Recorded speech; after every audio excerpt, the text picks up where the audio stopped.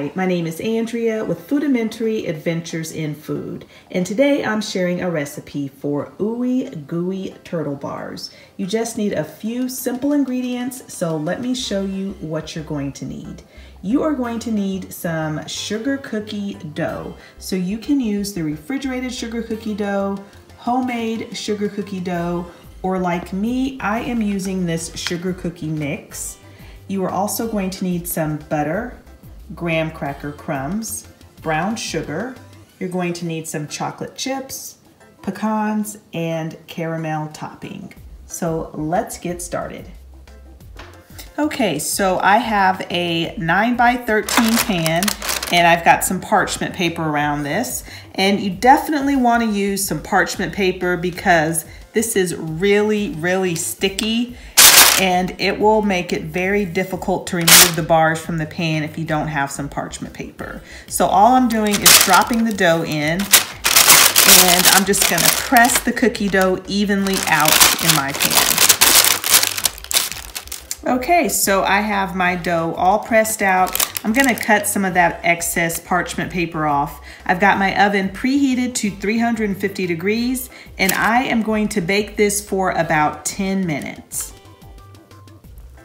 Okay, so while my cookie dough is baking, I've got my butter melted in a pot here, or melting I should say. To it, I'm going to add my brown sugar, my caramel,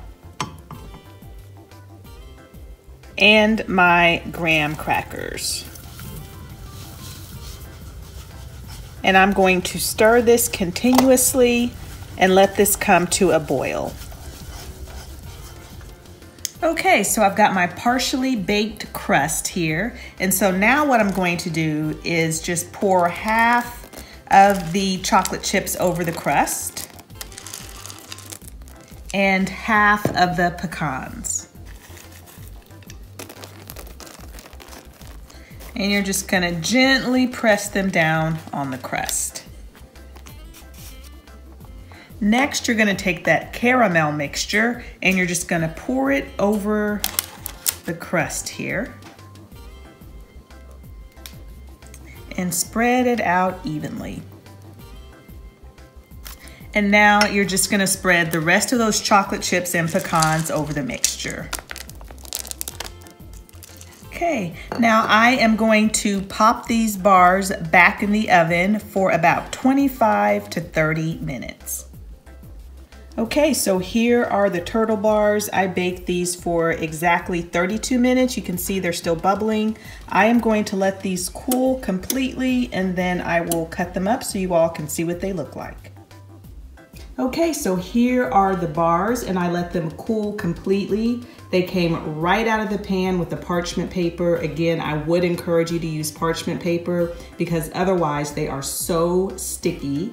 But as you can see, the crust kind of looks like a graham cracker now. All that brown sugar and caramel got into the sugar cookie crust.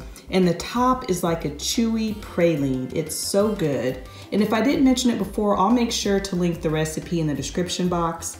And I hope you all enjoyed this video. If you did, please give us a thumbs up. And if you have not subscribed to our channel, we'd certainly love to have you. Thanks so much for watching and we'll see you all next time.